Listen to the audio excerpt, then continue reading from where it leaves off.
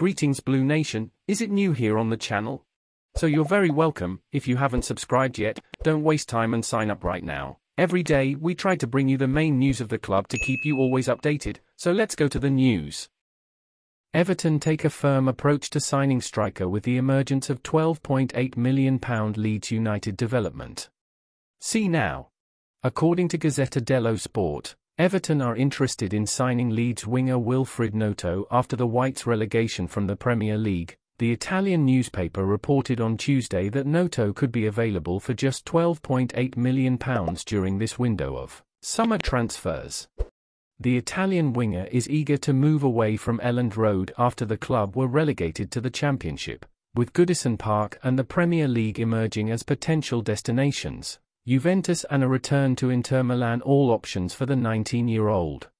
Years, however, Everton and German side Freiburg are the only clubs to have made concrete moves so far, having asked Leeds for information about the player's availability.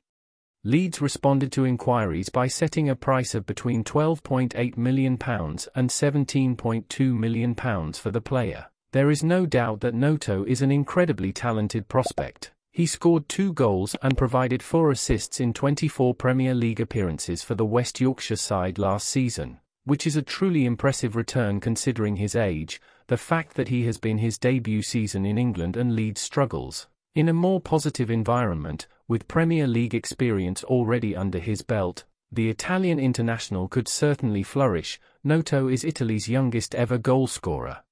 And is certainly a talent for the future. His direct approach from the outside and ability to beat his man is frightening and when he played for Leeds last season, he was often the man of the match. If Everton could pull off that deal he would be a great signing for the club. Although he may not necessarily be the goalscorer Sean Dyche is clamouring for, his quality will definitely bring life to an obsolete Everton attacking line. And you fan, what do you think of this athlete?